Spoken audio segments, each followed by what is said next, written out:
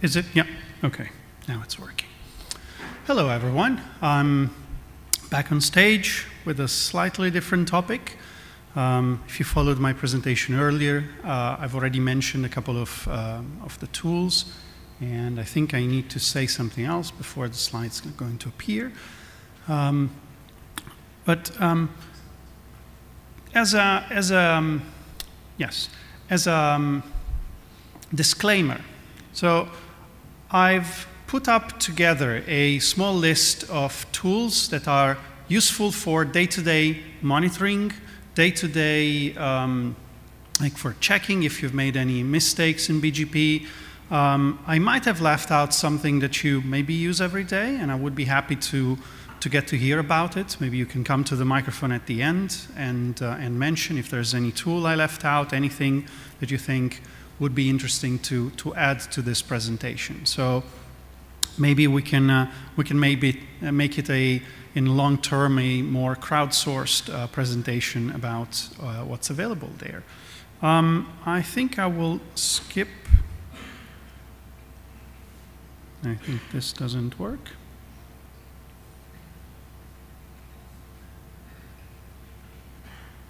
Ah, here we go. Okay, I will skip the part where, uh, who am I? Yeah, I can see them here.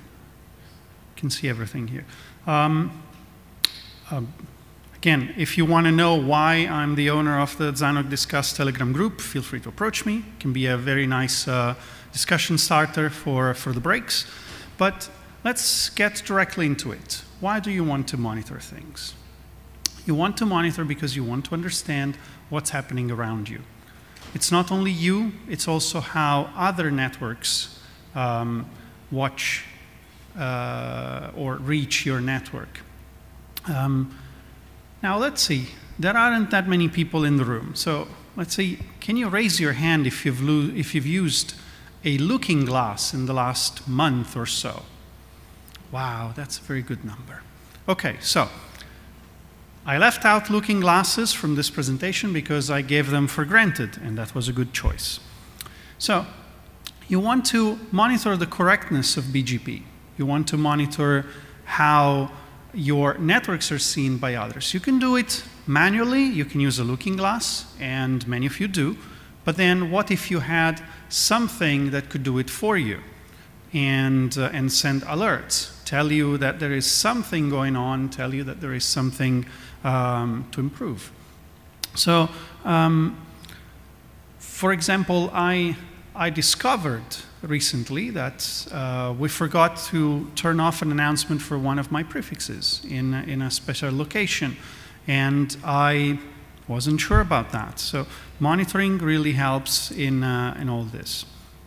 Um, so before we start with going deep into BGP, I would take a step back how are your uh, route and Route 6 objects? And for that, there is IRR Explorer. So how many of you have heard about IRR Explorer before? That's way less than people who have used looking glasses in the last month or so. That's good. So IRR Explorer gives you an insight into, um, so you have your AS number or you have a prefix. How does it look like in the IRR? But not only in your regional registries IRR, but anywhere in the world. So um, you can see also in which AS sets your ASN is in, and it's useful to, to also figure out if you forgot to, to update that. Um, you might have, um, there, is a, there is a related work that I've done uh, in the uh, last couple of years. How many uh, networks have objects in different databases for the same network.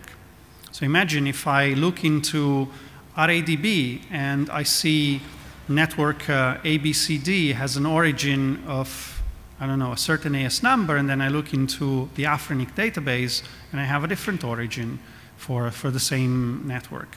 Which one do I trust? Which one should I look at? And IRR Explorer helps you look at this data, see this is my uh, report for my AS number, and it tells me that everything is okay except for there is a um, there is a, uh, a, prefix that where uh, supposed to be originated by another network, 14, 30, 83, um, anyway, and that is uh, not uh, good right now. Uh, that is actually fine.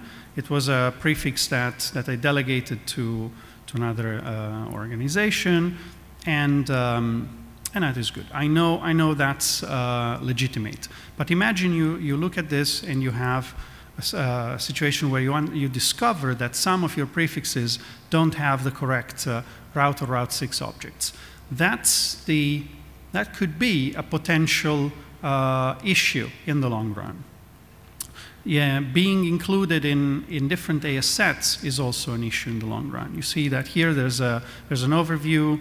Um, for example, my ASN is part of an AS set in APNIC. That's the ISOCLAB AS set um, because used to run that.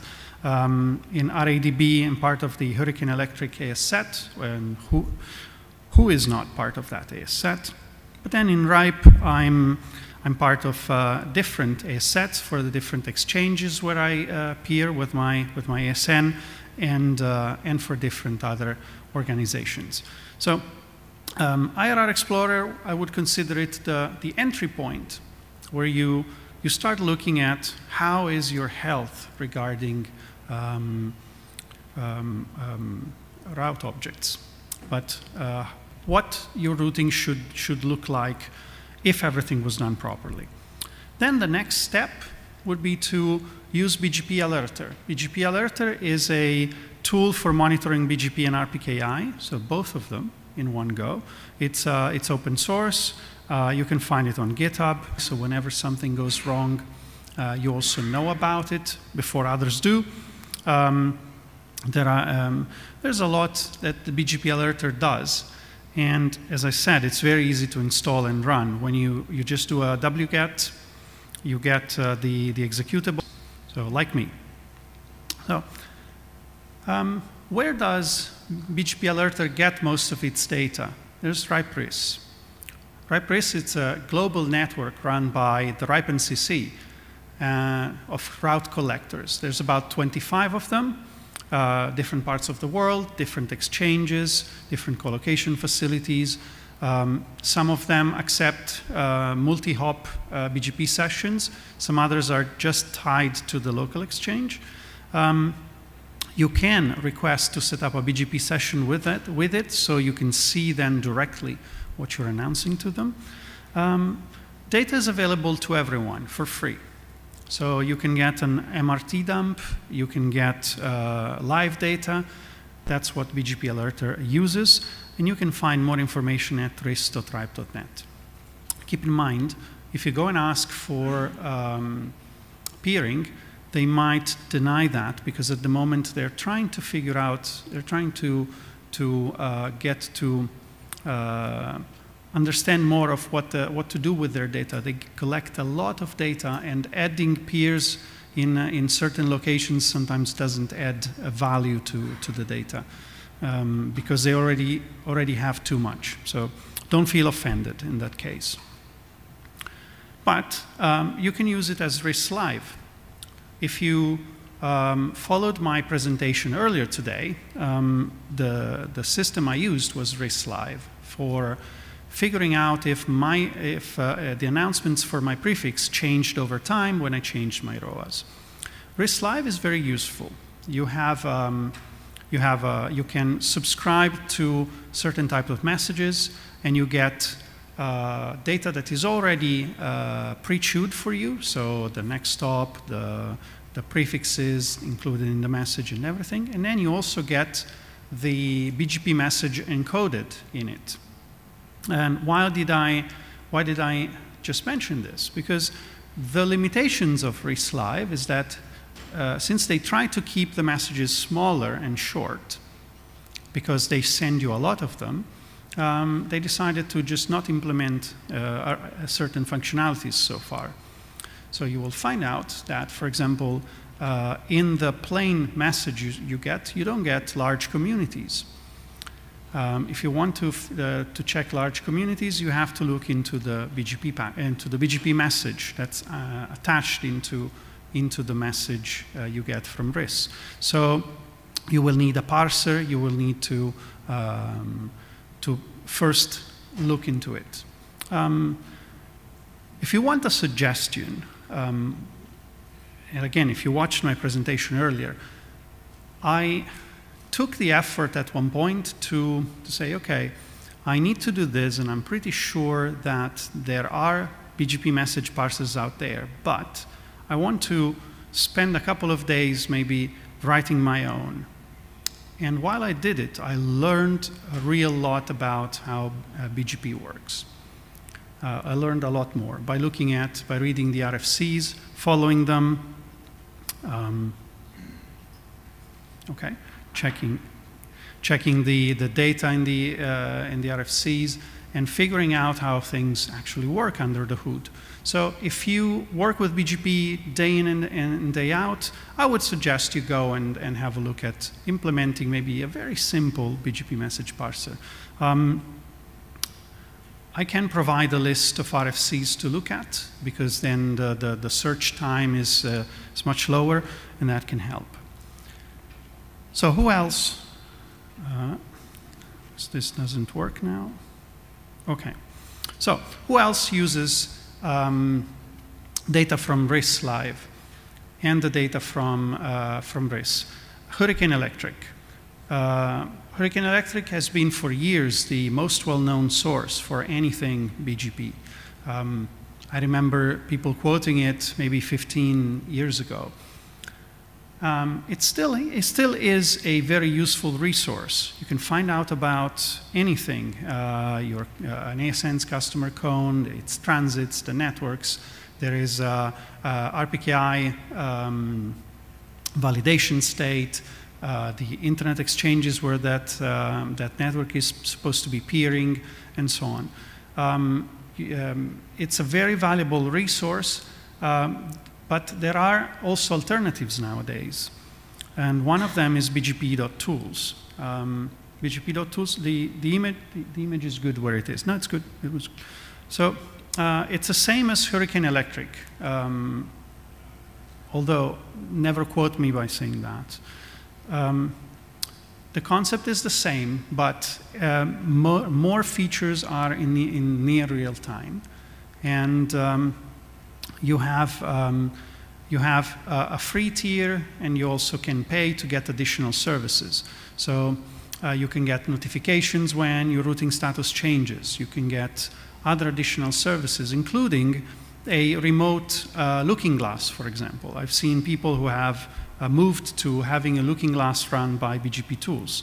Um, there are certain niche information you can find on BGP tools for example, the, the, the vendor of the device connected to a, a, specific internet exchange, because by looking at the, at the looking glass of the, or by looking at the, at the neighbor, uh, the, so the ARP cache, looking at the MAC address of the, of the device, care about.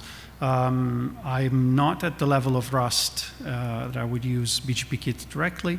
Um, there is the good old BGP stream as well, but it appears as uh, it is unmaintained.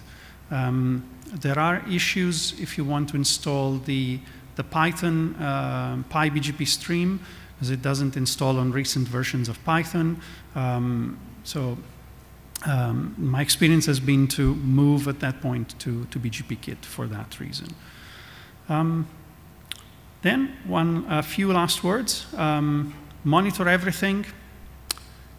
Monitor as much as you can. Um, if you don't see something happening, you cannot act. You cannot do anything if you don't know there's an issue. And the more we all monitor, the more we will understand about where the issues are. Um, people tell me there is, uh, well, BGP has been there for a long time and everything's fine. There are other things that we still haven't figured out completely. Um, one particular function of BGP Alerter, for example, is to also monitor the RPKI trust anchors. Those are the repositories where you fetch all your data for RPKI. If one of them goes offline, um, it's not a big deal. The, um, all the, the, the, prefixes covered by ROAs in that uh, database, in that uh, RIR, they will become uh, not found in uh, ROA validation, but that might have an impact uh, on your routing because you, uh, you send a bunch of BGP updates all in, in one go, and, uh, and that might show up in your other monitoring systems where the load on your routers goes up and, and you have other issues. So um, that, having something that also monitors the source of your data can have good implications for you to understand what's happening in the rest of your network. Um, one recommendation that I put as last is manage your notifications. Um, too many notifications is like none. If you have to dig through what you got to figure out what's happening, then there is a problem somewhere. So make sure you, you, um, you, you figure out how to reduce the number of notifications to the one you care about, the ones you care about, and, um, and then make sure you read them because then you understand what's happening in your network. And I'm open to questions with this now.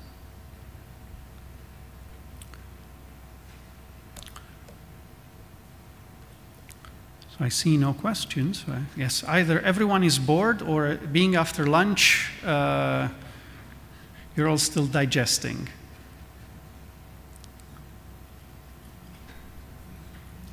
Well,